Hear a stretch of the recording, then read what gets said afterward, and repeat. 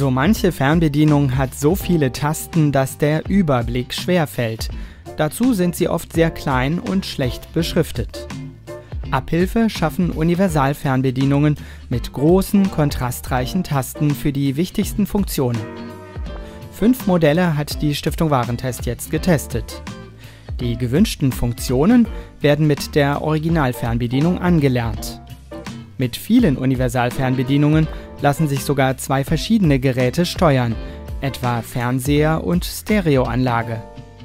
Zum Anlernen wird einfach die Originalfernbedienung Stirn an Stirn gelegt mit der Universalfernsteuerung. Beim Modell von Seki wird dann Taste A oder B gedrückt gehalten und dann gleichzeitig die Pfeil-Runter-Taste gedrückt, bis die entsprechende LED leuchtet.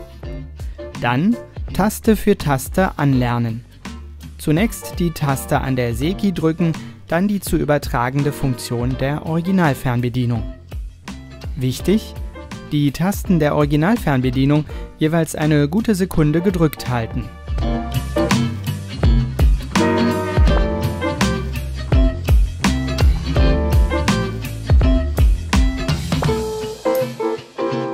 Sind alle gewünschten Tastfunktionen übertragen, erneut die A- oder B-Taste betätigen.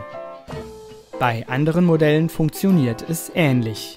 Hier als zweites Beispiel die Universalfernbedienung von G-Mark. Die 1-2-Taste gedrückt halten und gleichzeitig die Plus-Taste so lange drücken, bis die LED leuchtet.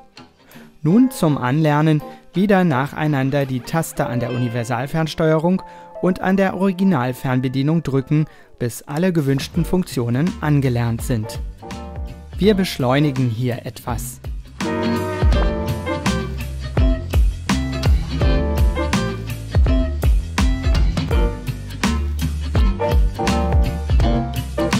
Zum Abschluss erneut die 1-2-Taste betätigen.